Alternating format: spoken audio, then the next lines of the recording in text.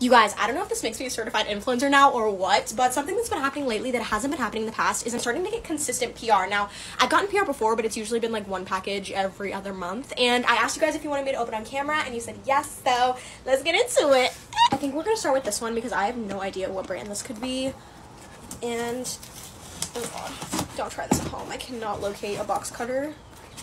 I feel like a kid on Christmas trying to open their Christmas presents. Actually, give me a second. I got it open and.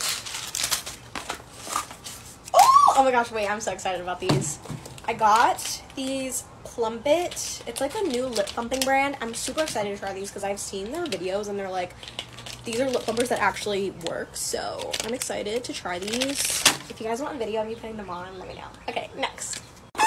So excited about this one. I've been wanting to try their products for the longest time, so we're gonna get right into it. Okay, apparently I need my adult card revoked because I'm incapable of opening